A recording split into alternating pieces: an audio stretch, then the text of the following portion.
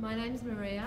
So I quit my um, nine to five job. I had enough of going in nine to five and making someone else richer. I wasn't getting enough satisfaction out of my life, my time. I just felt like I was um, working in a business that my time was valuable and I was not doing what I wanted to do.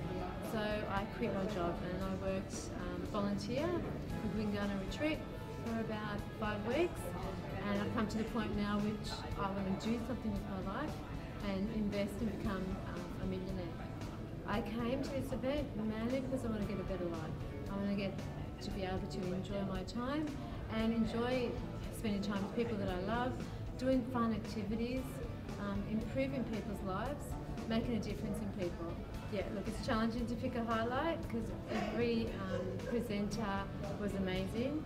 Um, you had Dominique who was full of information, Cherie, who was a specialist. Like everyone was a specialist in their own field, and everyone was positive. Like it was very difficult to have a highlight. Really, Stuart Zadel's uh, investor conference has got so much to offer.